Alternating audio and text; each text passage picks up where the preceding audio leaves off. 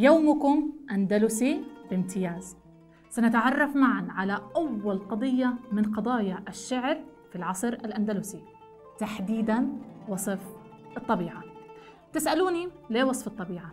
لأنه العصر الأندلسي امتاز بطبيعة خلابة من مناخ معتدل من تضاريس من خضرة دائمة ومن أنواع مختلفة من الثمار.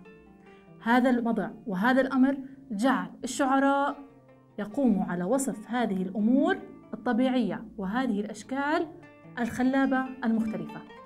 لكن عملية وصف هذه الطبيعة أخذت أشكال وموضوعات مختلفة. من الشعراء قام على وصف الطبيعة ككل مثل ابن سفر المريني واسمعوا كيف وصف طبيعة الأندلس. أنهارها فضة والمسك تربتها والخز روضتها والدر حصباء. وبعض الشعراء وصف الحدائق والرياض وتحديدا الأزهار الموجودة بهذه الحدائق. خلونا نسمع ابن النظام. وقد بدت للبهار ألوية تعبق مسكا طلوعها عجب. يا سلام. وبعض الشعراء وصف الأزرق. شو يعني الأزرق؟ يعني البحار والمحيطات والأنهار والسواقي. من مثل؟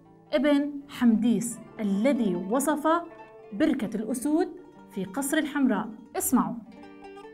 وضراغم سكنت عرين رئاسة تركت خرير الماء فيه زئيرا.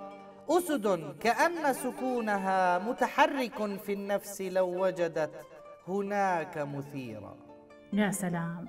وأخيرا بعض الشعراء جعل من هاي المظاهر الطبيعية صديق لإلهم.